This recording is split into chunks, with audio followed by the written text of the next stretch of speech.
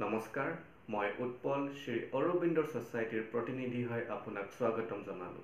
আমি শিক্ষাত শূন্য নিৱেশ নৱাচাৰ Z I I E I zero' investment innovation for education ইনিচিয়েটিভৰ পৰা এটা ৰোমাঞ্চক নৱাচাৰ বিষয় ক'ম।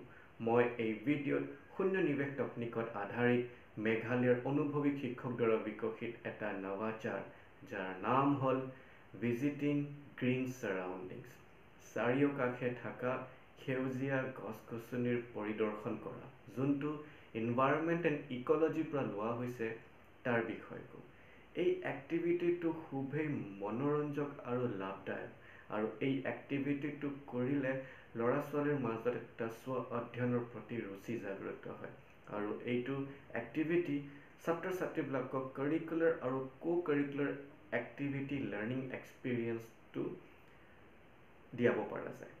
এইটো এক্টিভিটি ক্ৰিয়ান্বিত কৰিবলৈ কাৰণে শিক্ষকে আগতে নিজৰ ক্লাছত পৰ্যাৱৰণৰ বিষয়ে তাৰ মহত্বতাটো বুজায়।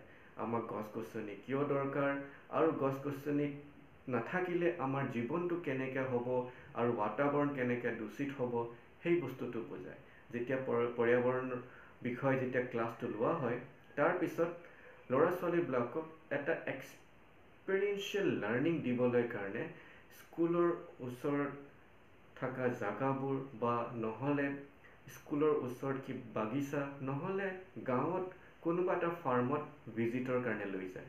আৰু যেতিয়া ইহঁতক ভিজিট কাৰণে লৈ যায় তেতিয়া তাৰ বাগিচাত আৰু ফাৰ্মত য'ত গছ গছনি থাকে সেইবোৰ ছাত্ৰ ছাত্ৰীবিলাকক বুজাবলৈ চেষ্টা কৰে। উদাহৰণস্বৰূপে ছাত্ৰ ছাত্ৰীবিলাকক কয় যে তোমাৰ তোমালোকে কোৱা কোনটো এইকেইটা ফুলৰ গছ। তেতিয়া ষ্টুডেণ্টবিলাকে তেতিয়া বাছি ওলায় তেতিয়া শিক্ষকে বুজায় যে এইটো মেৰিগ'ল্ড এইটো জেচমিন এইটো লিলি। তাৰপিছত যোনটো ফল দিয়া গছ সেইবোৰ নামবোৰ বুজায়। যোন এনেকুৱা আমৰ গছ থাকে মধুৰিআমৰ গছ থাকে জামুনৰ কঁঠালৰ গছ থাকে ইত্যাদি। সেনেকৈ ছাত্ৰ ছাত্ৰীবিলাকক জ্ঞান দিবলৈ চেষ্টা কৰে। আৰু এনেকৈ যেতিয়া ভিজিট কাৰণে লৈ লৈ যায় ছাত্ৰ ছাত্ৰীবিলাকৰ এটা নিজৰ স্ব অধ্যয়নৰ প্ৰতি ৰুচি জাগ্ৰত হয় আৰু ইহঁতে নিজে প্ৰশ্নবোৰ সুধি থাকে এইটো কোনটো গছৰ পাত এইটো গছটোৰ নামটো কি? আৰু যেতিয়া আমি পাতৰ কথা ওলাওঁ তেতিয়া চব গছৰে পাত বেলেগ বেলেগ থাকে। কিছুমানৰ পাত খুব বহল থাকে কিছুমানৰ সৰু পাত থাকে। আৰু শিক্ষকে ছাত্ৰ ছাত্ৰীক বুজায় যে কোনটো গছৰ পাত কেনেকুৱা। আৰু এই পাতবোৰ শিক্ষকে ল'ৰা ছোৱালীক জমা কৰিবলৈ দিয়ে আৰু নিজৰ প্ৰজেক্ট ৰিপৰ্টত লিখিবলৈ দিয়ে আৰু জমা কৰিবলৈ দিয়ে। আমি আশা কৰোঁ যে আপুনি এই এক্টিভিটিটো নিজৰ স্কুলত বা ক্লাছৰুমত ক্ৰিয়ান্বিত কৰিব।